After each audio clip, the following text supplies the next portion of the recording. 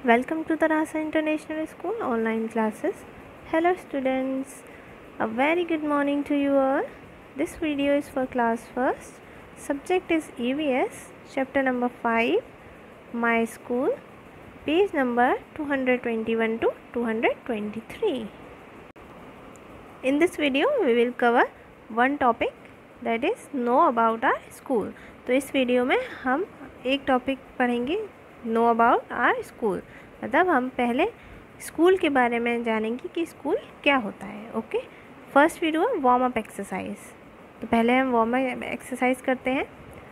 So let start school is the place where we learn new things तो school क्या होता है? School कौन सी जगह होती है? स्कूल वो जगह होती है जहाँ हम नई नई चीज़ों को सीखते हैं. School is also called the temple of knowledge school को टेंपल ऑफ़ नॉलेज मतलब ज्ञान का मंदिर भी कहा जाता है। तो स्कूल हम सम, हमें पता चला स्कूल क्या है? स्कूल एक वो जगह है जहाँ हम नई चीज़ें सीख रहे हैं और उसको ज्ञान का मंदिर भी कहा जाता है।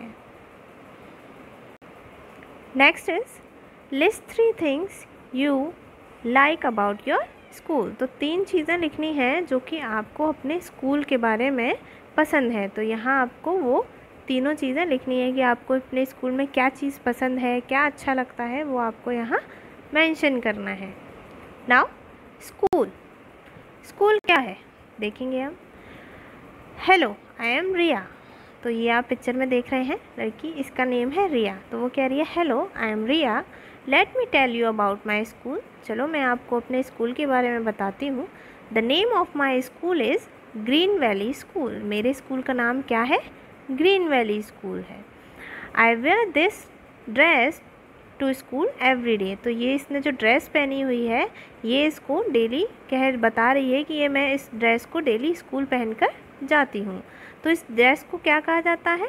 इट इज़ कॉल्ड यूनिफॉर्म इसको क्या बोला जाता है? यूनिफॉर्म बोला जाता है। तो जो आप लोग आप सभी जो ड्रेस पहनकर स्कूल जाते हैं, उसको क्या बोलते हैं? यूनिफॉर्म बोलते हैं। Then we go to school to study हम स्कूल किसके लिए जाते हैं? पढ़ाई करने के लिए जाते हैं।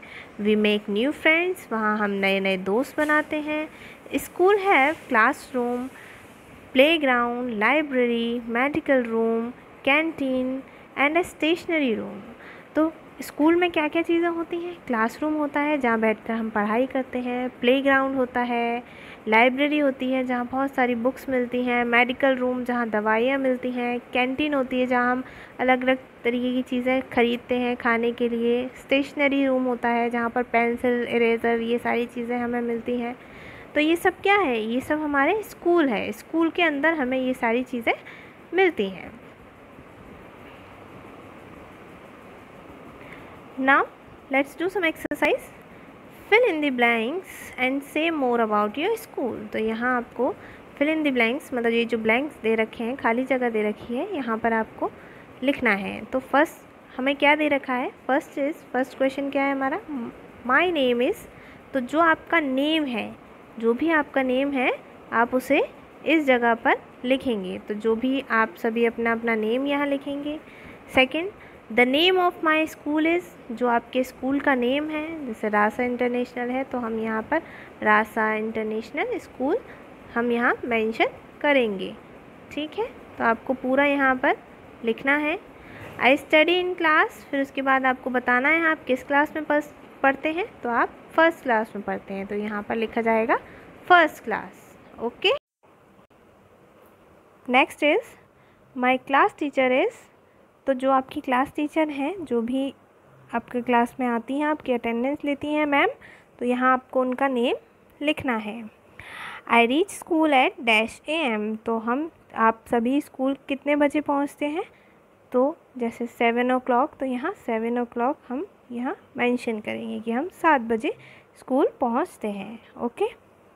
Next is I carry books notebooks lunch box and a pencil box in my school bag तो जो आपका स्कूल बैग होता है, उसके अंदर आप क्या क्या चीज़ें लेकर जाते हैं?